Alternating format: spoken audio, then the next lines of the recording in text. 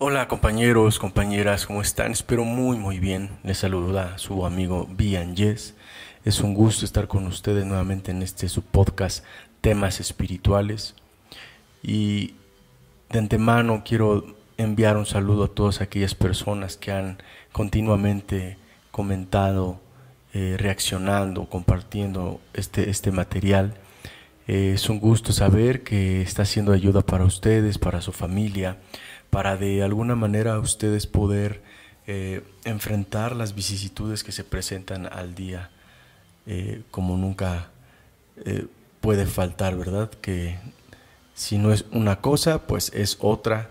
Y aquí lo importante es que haya para todo tipo de situaciones o circunstancias que se presentan en nuestra vida. Y pues bueno, el día de hoy vamos a continuar con nuestras historias de los primeros alcohólicos de cómo, cómo, cómo vivieron sus procesos cuando no había tanto, eh, tanta información, tanta eh, apertura hacia ciertos temas donde tenían que vivir, donde se consideraba que el alcohólico era un pecador o era un vicioso y hoy sabemos que obviamente y por evidencias que es una enfermedad.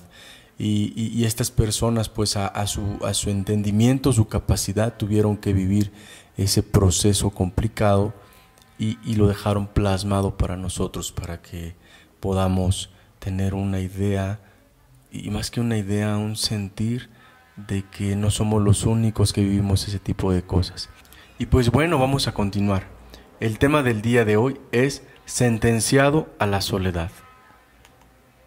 En todas las actividades de su vida quería ser el número uno, pero fue el último en reconocer el daño que la bebida estaba causando a su vida. Ahora que sé el efecto que el alcohol tiene en las personas, estoy convencido de que desde que tomé el primer trago, el alcoholismo se apoderó de mí. Yo siempre era el que tomaba la primera copa y el último ron con soda. Era el más gracioso en las reuniones, el que mejor jugaba a la pala el que más rápido subía al monte, el que más, el que más.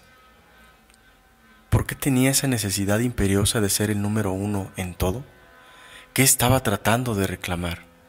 ¿De quién quería llamar la atención? ¿Cuántas veces me he preguntado y me he querido convencer a mí mismo? A lo mejor fui víctima de las circunstancias. Quise estudiar y no se pudo. Los trabajos que tuve durante toda mi vida no eran los que yo quería. Los amores a principios de los 70 iban y venían. La relación con mi padre era nula. La situación en mi país me arrastraba a una lucha. Muchas preguntas, pocas respuestas. Pero creo que esto nada tiene que ver con mi alcoholismo. Si no hubiera sido estas las causas, hubieran sido otras. La cuestión es que la enfermedad la he llevado conmigo durante 30 años, de los cuales los ocho o diez últimos los pasé en el infierno. Profesionalmente había triunfado. Con los estudios que yo tengo no se podía llegar más alto. Era el capataz general en una empresa de prefabricados de hormigón. Dedicaba todo mi tiempo a mi labor profesional y a beber cosa que hacía durante todo el día y a todas horas, puesto que nadie me controlaba. En mi casa lo único que hacía era dormir, casi nada, y decir que me dejaran en paz. Qué osadía cuando yo había metido en mi casa a una legión de diablos. Alegando que en el verano hacía mucho calor, mi mujer se iba a dormir a otra habitación. Entre paréntesis, cada vez eran más largos los veranos. En más de una ocasión le he oído decir en algunas reuniones abiertas que era insoportable dormir conmigo por lo que sudaba y por el olor al alcohol que emanaba mi cuerpo. No sé cómo ha podido soportar tanto tiempo. Mis hijas ya eran mayores y cada vez más frecuentemente mi esposa me decía que yo tenía problemas con el alcohol y me brindaba toda su ayuda. Me habló de alcohólicos anónimos, Consultó con el médico de cabecera, me trajo papeles para que fuera a ver a un psiquiatra, etc. Pero entre el alcohol y los resentimientos que yo tenía hacia ella, no quería o no podía ver mi realidad, y todas sus sugerencias, una a una, las rechazaba. Los dos veíamos que nuestro matrimonio se iba a pique, y me advirtió que o yo tomaba cartas en el asunto o las tomaba ella. Un día dije que no tomaría más alcohol, y así lo hice. Lo sustituí por cerveza y licores sin alcohol. Pasaban los días y las semanas, yo seguía con las mismas pautas, cada vez más encerrado en mí mismo. Me estuvieron tratando de estrés, de depresión y de alguna enfermedad más de la mente. Pero ahora sé que lo que me pasaba era que no sabía vivir sin beber. Entré a un estado, supongo que, de borrachera seca. Recuerdo que un domingo, al llegar a mi casa a la hora de comer, ya estaba la mesa puesta y mis hijas y mi mujer esperándome. Mi mujer me dijo que la situación por la que estábamos pasando era insostenible.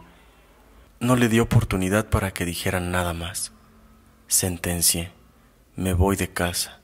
Ahora recuerdo la escena y se me saltan las lágrimas. Las tres se pusieron a llorar. Yo terminé de comer, supongo que no mucho, y me fui a ver una corrida de toros. Como ya no tenía por quién dejar de beber, empecé a tomar mis queridos y echados de menos whiskies. A los quince días justos después de haberme ido, me quedé sin trabajo. Un hombro empezó a darme problemas por las noches. Dejé de acostarme. No era capaz de pegar ojo. Antes de que abrieran el primer bar, a las cinco de la madrugada, ya estaba yo en la calle porque los temblores no me dejaban estar en casa de mi madre, que fue la que me recogió y aguantó todos mis malos modos, mis soledades, mis odios hacia el mundo, mi desesperanza y mi pérdida de hombría. Aprovechando un viaje que mi madre hizo con los de la tercera edad, decidí que las paredes solo blancas eran muy sosas y, al más puro estilo de capilla sixtina e imitando a Miguel Ángel, me puse manos a la obra. Y solamente con barniz de pintar las puertas empecé a plasmar sobre las paredes toda mi creatividad. Los motivos en los que me inspiré fueron la Giralda de Sevilla, la Torre de Oro, barcas, playas, las tres carabelas de Colón, un perro, un arlequín y todo lo que mi imaginación y el whisky dieron de sí. Cuando llegó mi madre, le enseñé aquella obra maravillosa y le dije, el Miguel Ángel ese tardó en pintar la capilla una eternidad y yo, fíjate, en un solo día, lo que he hecho. Mi madre me dijo, muy bien, hijo mío, ni Dios cuando se puso a crear el mundo hizo nada tan maravilloso. Durante todo el verano tuve la puerta de la calle abierta para que todo el que quería mirar viera mi obra. A los seis o siete meses, un día que mi mujer subió, no me acuerdo muy bien a qué, y vio aquel desaguisado no pudo menos que ponerse manos a la brocha también e intentar ocultar aquel desastre. Siete u ocho manos de pintura blanca tuvo que darle, pero aún hoy en día se intuye lo que allí había pintado. Menos mal que no me dio por conocer a otras mujeres, tal vez porque en aquella época casi no tenía dinero y todos mis ahorros y esfuerzos los usaba para beber. Estando una tarde en un bar, Pensando en lo inútil de mi existencia, se me acercó un conocido que parece ser que estaba peor que yo, y en aquel momento más borracho, y me pidió ayuda para que lo acompañara a casa porque él no podía conducir. Lo acompañé, pero en vez de a su casa, nos fuimos al primer bar con el que tropezamos. Seguimos bebiendo y contándonos las desgracias por las que atravesábamos. Me comentó que lo estaba tratando un psicólogo para ayudarlo con el problema de la bebida. Yo no me podía creer lo que estaba oyendo de aquel hombre. Reconocí, creo que por primera vez, ante otra persona que tenía dificultades para controlar el alcohol. Entonces él me dijo que me iba a dar el teléfono de este psicólogo para que a mí me tratara también, que a él le estaba ayudando mucho. A pesar de mi borrachera, Le dije que sí, la ayuda era como la que le estaba dando a él, que no la quería, porque los dos estábamos borrachos, como una cuba. Y sujetándonos a una columna, en aquel momento decidí llamar a Alcohólicos Anónimos. Fue casualidad que alguien con quien no había tenido ninguna relación, que no hubiera sido profesional, ese día me pidiera ayuda? ¿O fue el poder superior a través de él? Él que hizo que yo tomara conciencia de mi realidad. Fuera como fuera, llamé y me puse en contacto con un compañero, que el nombre que tiene me vino al pelo, Salvador. Él hizo con su experiencia y su talante que yo me quedara en Alcohólicos Anónimos hoy en día sigue siendo un ejemplo a seguir por mí. Aquella primera reunión a la que yo asistí, recuerdo que me llenó de gozo. Por fin había encontrado un sitio en el que encajaba, por eso cuando salí me fui a celebrar tomándome unas copas. Así estuve unos meses. Hasta en el descanso de las reuniones me iba a un bar a tomar. Lo pasaba fatal. Pero llegó el día y dejé de tomar ese primer trago. Durante una semana no pude moverme del sofá, no era capaz de comer, no podía tragar nada. Y porque no podía sujetar nada con las manos, casi no podía caminar. Al principio de mi abstinencia creía que Dios me había mandado una enfermedad para dejar de beber. Pero ahora estoy convencido de que fue al revés. Estuve a punto de que me diera un delirium tremens, pero no fue así. Y desde entonces no he vuelto a tomar ni una sola gota de alcohol. Y lo que todavía es mejor, desde ese primer día, aun con los temblores, Dios hizo que se me quitara la obsesión por el alcohol. Desde que decidí asistir a Alcohólicos Anónimos, se lo conté a mis hijas y les dije que como mi esposa me había ofrecido tantas veces su ayuda, y puesto que había reuniones para familias de alcohólicos, que si ella quería podía acompañarlas, que si ella quería podía acompañarme a una reunión abierta. Mi esposa dijo que sí, y durante toda la reunión estuvo llorando, y yo haciéndome el duro, pero con un nudo en la garganta. No sé si todavía bebía o ya lo había dejado. Cuando un día de los que pasaba a recoger a mi mujer para ir a las reuniones, no me preguntó cómo era su costumbre, que se había bebido. Y a la vuelta tampoco. Para mí ese día supe que algo iba a cambiar en nuestras vidas. Empezamos a vernos y a salir otra vez como si fuéramos novios. Casi un año más tarde, volví otra vez a mi casa con la misma esposa que había aguantado tantos sinsabores. Me comí mi orgullo y llamé a mi antiguo jefe y para mi sorpresa volvió a darme trabajo. Eso de la humildad daba resultado. Me operaron del hombro y se me ocurrió después de una larga recuperación. Por fin la vida volvía a sonreírme y todo ello por no tomarme esa maldita primera copa. Mucho han tenido que cambiar mis puntos de vista sobre todos los temas que me rodean y afectan. Hoy tengo inquietudes por aprender, por conocer a las personas y a las cosas. Estoy dispuesto a conceder a mis semejantes las oportunidades que hagan falta. Y estoy luchando conmigo mismo. Y estoy luchando conmigo mismo para aceptar las cosas como son y no como me gustaría que fueran. Desde donde me encuentro, en este momento se ve mucho cielo. Una historia más, amigos, compañeros y hermanos del mismo dolor. Una historia que conlleva y trae su propia magnitud, aunque fue muy breve.